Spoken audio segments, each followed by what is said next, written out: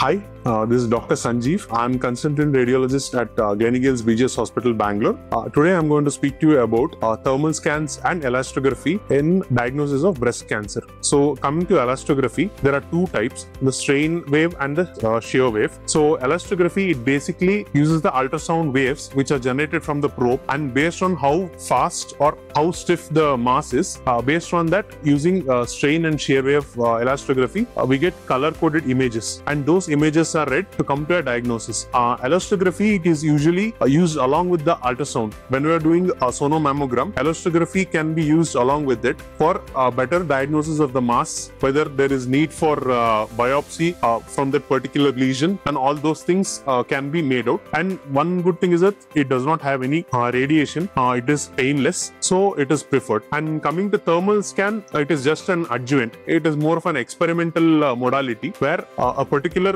uh, change in the vascularity within the breast tissue is picked up using the, the infrared cameras. So any particular area which is highly vascular, it can be secondary to inflammation, infection, even those things are also picked up. So the false positive rates are higher when compared to an elastography, it's higher in uh, uh, thermal scans. So as a single diagnostic modality, thermal scans are never used. It is more of an experimental or an additional this thing. Uh, one uh, good thing is that uh, it is painless. So whenever you are uh, doubting a particular lesion, uh, either be it elastography or thermal scans, they are used additionally with respect to sonomammogram, mammogram to give you additional uh, information. And uh, it differs, like especially in patients who are uh, having dense breast or where radiation is uh, contraindicated. In that cases, thermal scans will give you a better information compared to elastography. Thank you.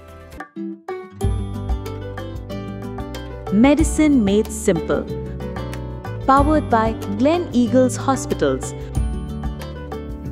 where good people make you feel better.